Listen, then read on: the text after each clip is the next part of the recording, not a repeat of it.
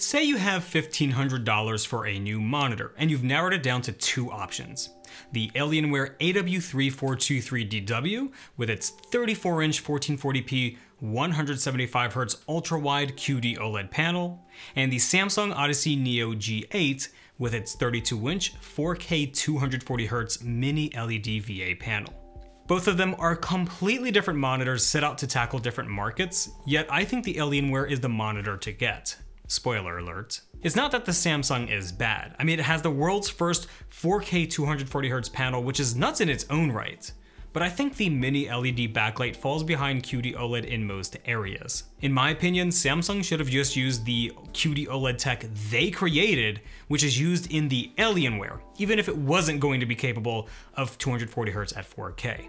Anyway, I'm going to compare the Alienware against the Samsung, as well as sprinkle the LG 38GN950 a little here and there. But mainly I'll be focusing on the Alienware because it's now my daily driver, which replaced the LG, and it's also my favorite monitor ever, until something better comes out. When it comes to gaming, the Alienware is very different from every other monitor I've used and reviewed.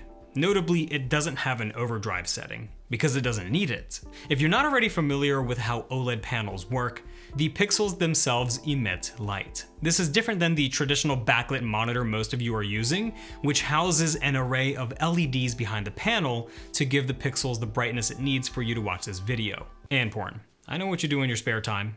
The inherent benefits of OLED is that they have near CRT response times at any refresh rate, which is to say that the response times are so low that no LCD can keep up. So when you look at these UFO test images which are moving at 1920 pixels per second, you can see that the Alienware has no trail behind the Alien, while the Samsung does.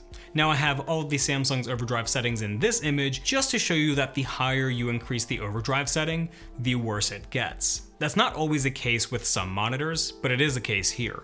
I'm showing you this because the Samsung does the best with its standard and extreme MBR setting, which is their black frame insertion, throughout the entire refresh range. So I'm not even gonna bother showing the faster and extreme overdrive setting anymore because it'll just be a waste of time. Now, the aliens themselves are still blurry, but that's because of the persistence of the monitor, which is basically the monitor's refresh rate. The lower the refresh rate, the higher the persistence, which means the actual object will be more blurry. You can learn more about persistence, response times, and so on by clicking on this video. Alright, now let's bring the LG into the mix. This is about as standard as it gets when it comes to LCD response times. They're not bad, but when you compare it to the Alienware, it's not the best, especially in the dark grays where there's a lot of trailing. Now, there's only so much a 1920 pixel per second Alien can show you, so here's some data showing you the initial response times as well as the overshoot for each monitor. You can see that the Alienware pretty much slaps anything else with its 0.9 milliseconds of response times, and if you want to see the rest of the stuff and analyze it, you can pause. Dropping the Alienware and the Samsung to a lower refresh rate shows that the Alienware is still on top in terms of response times when compared to other monitors. Now the LG is still at 160Hz for this image because I don't have any 120Hz images, so that's why the Alien itself looks better because it has better persistence or lower persistence. But if that doesn't make you happy, let's go down to 60Hz for all monitors.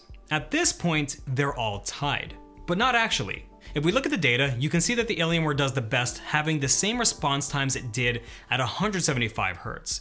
It doesn't matter what refresh rate you drop this thing to, it performs the same. Compare that to the Samsung and LG, and they just can't compete because the liquid crystals can only twist so fast with 60 refreshes per cycle. The Alienware doesn't have to do any liquid crystal twisting because it's just LED on and LED off, from 1 all the way up to 175 Hz. Now, do I actually notice any of what I've just talked about when it comes to actually gaming? Oh my god, yes! Originally, I didn't think that I would find Alienware being that much better, because all of these monitors are already so top tier that they already deliver a great gaming experience. But when it comes to really fast motion esports shooters like Valorant, flicking, which ranges from 7,000 to 10,000 pixels per second, was more clear than my future. If I flicked with the LG or Samsung, oh, you're gonna see the blur. The QD OLED panel on this Alienware delivers a level of crispness I've never seen before and it blows my mind. It still does even after I've been using it for over a month. Input lag is also better on the Alienware. It had an average input lag of just 14 milliseconds at 175Hz, which is surprisingly faster than the Samsung's 19 milliseconds at 240Hz. You would expect the Samsung to do better with 65 more refreshes per second, but apparently not. And not only that, it only gets worse from here, at least for the Samsung. At 120Hz, the Samsung had an average input lag of 29 milliseconds, whereas the Alienware was just 19 and at 60 Hz, the Alienware had an average input lag twice as fast as the Samsung at 24 milliseconds versus 51 milliseconds. The Samsung basically performs just as poor as a TV from 2017.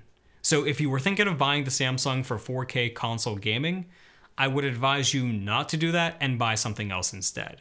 Now, the Alienware isn't perfect because the black equalizer sucks, it basically does nothing, and the color vibrance doesn't exist. So if these things matter to you, then I guess don't get this monitor and get the Samsung because the Samsung at least does well in those aspects. But after seeing how good the response times are on the Alienware, will that really be a deal breaker to anyone? I hope not. And you could also just use NVIDIA's color filters to get around the whole crappy black equalizer and non-existent color vibrance feature, even though it might have a small performance hit. With that said, those features don't matter to me on this monitor, which I know is weird to say for regular viewers because you guys know how much I love my black equalizer and color vibrance. But the HDR that this thing has makes me want to play games the way they were visually intended to look, and I've never said that about any monitor before. The Alienware has two HDR modes, VESA certified HDR 400 True Black and HDR 1000, and you can only enable 10-bit color up to 144Hz. Bummer. The Samsung advertises Quantum HDR 2000, which is not VESA certified because HDR 2000 doesn't exist. And it also has firmware 1003, and it can do 10-bit color all the way up to 240Hz at 4K. And lastly, the LG is VESA 600 certified. Let's start off with the LG because it's the easiest one to talk about. It sucks harder than a vacuum. It has a total of six Yes, six local dimming zones, which are also vertical, so you're stuck with an experience that looks like this. Do I need to say more? The Samsung has a mini LED backlight with a total of 1,192 zones. And while I don't think it's as good as the Alienware for reasons we'll get into later, it's much better than pretty much all other LCDs out there with a nice density of mini LEDs. This means that it can really localize brightness while leaving the dark areas dark because there won't be massive zones like the LG bleeding into areas it's not supposed to brighten. It also gets very bright, hitting a peak of around 1280 nits up to a 10% window, 1080 nits with a 25% window, and 650 nits with a 50% window. That's really impressive. The Alienware with its HDR 400 True Black mode can maintain 450 nits all the way up to a 10% window, and with HDR 1000 can only maintain 1050 nits up to a 2% window, 750 nits with a 5% window, and 450 nits on a 10% window, which is considerably darker than the Samsung. This is noticeable when you're on the desktop with a lot of white and bright things, but not as noticeable in games, even when you're on a map that has a lot of sand and snow because it's not often you're going to see a lot of changes in scenery when gaming. I mean, it does happen, but it's much less noticeable than if you were on desktop, even though you know the screen went dimmer when playing games. Like, it's just like, yeah, you really don't notice it as much. Now with all that said, the Samsung easily beats the Alienware in HDR brightness with larger window patches. This is one of the nice benefits of having a backlight. You can make those LEDs much brighter in a bigger window patch than you can with an OLED Pixel without having to worry about the monitor damaging itself. However, with that said, I still prefer the HDR on the Alienware for every other reason.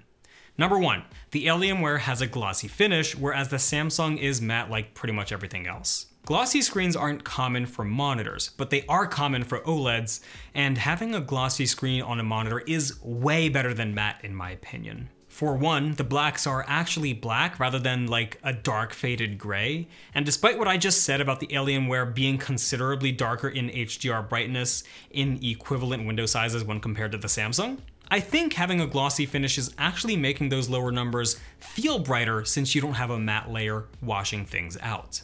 Now, the numbers I gave you are accurate, but it just feels brighter than what the data is showing. Plus, having a glossy finish gives a level of clarity I've never seen on a monitor before.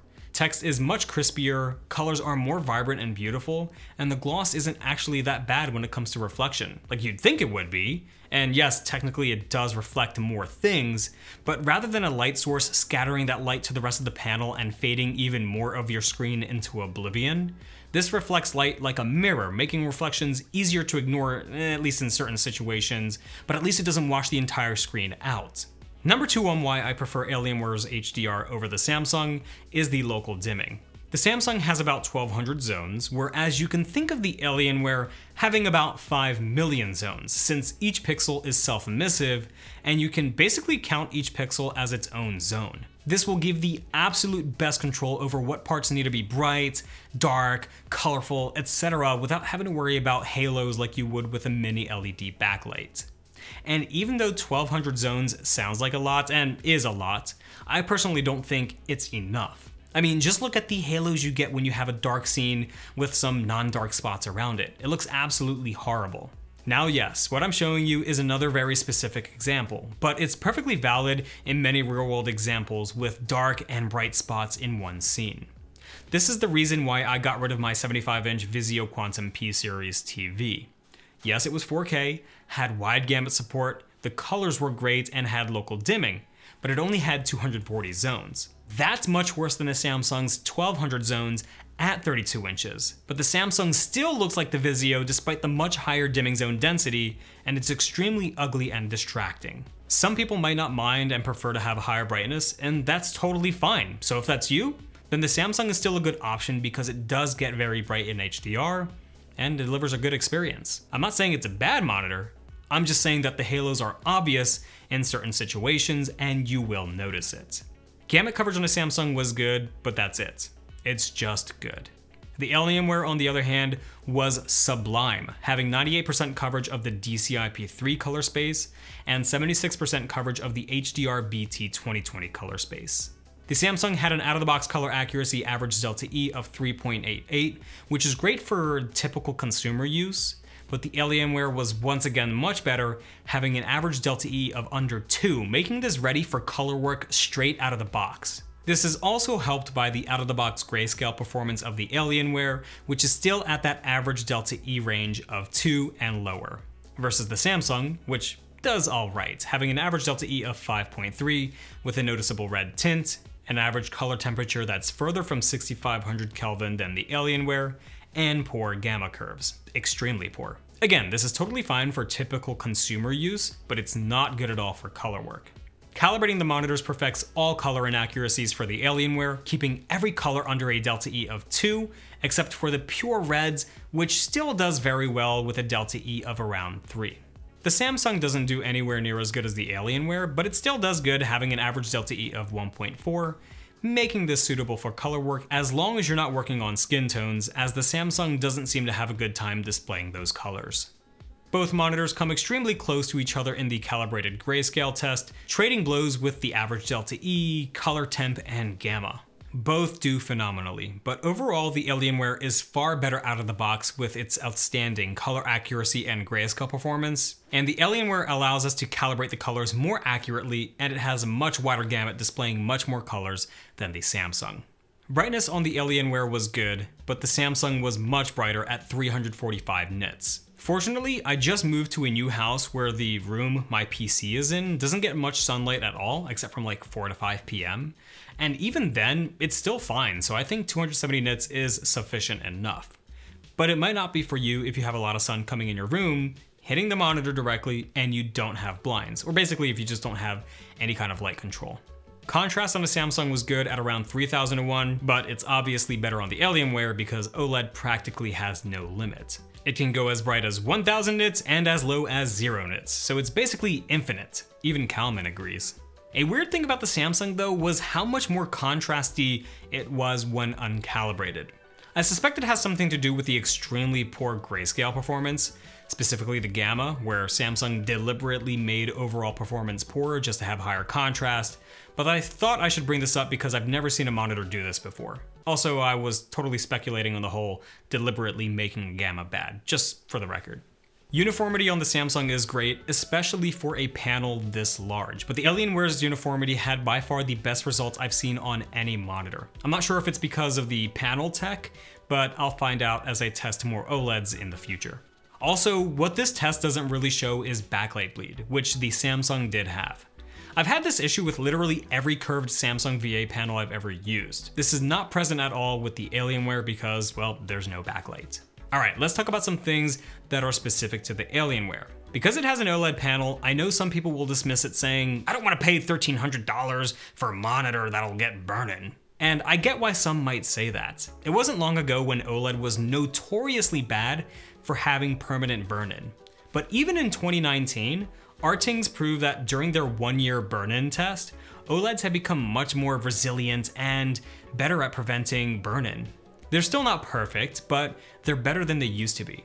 On top of that, these QD-OLED panels are supposed to be better at preventing burn-in than traditional OLED panels. I have no clue if that's true or if it's all marketing fluff, but we'll find out over time as the years go by. The Alienware also has a pixel shift feature, kind of like RuneScape to prevent botting, except this is not to prevent botting, it's to prevent burn-in.